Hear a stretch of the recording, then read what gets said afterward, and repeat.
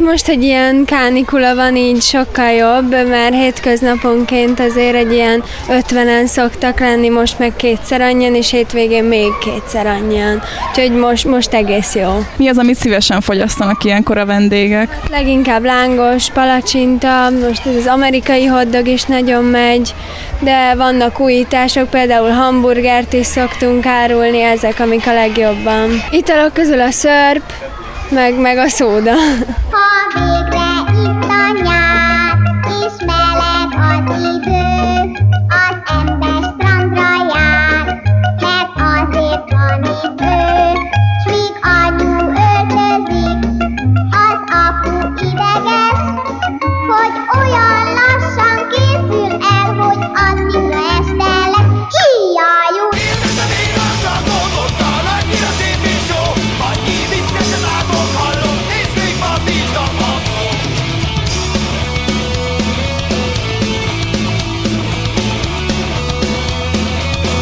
A szemben 40 fokos melegben a délutáni forgalomra nem lehet aggodalomra okunk.